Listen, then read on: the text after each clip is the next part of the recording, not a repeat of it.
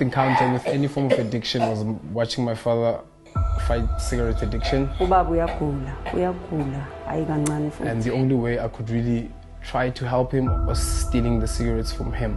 baba ngwangayekela ukubhema izokubulala lento sesemncane mntana ungathi eh. So after my father passed, that's where like things got real for me.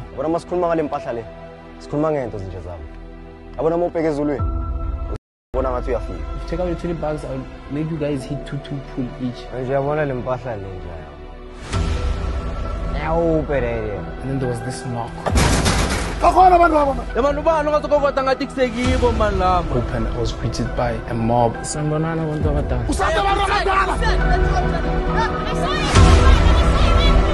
This is done. We are going to die.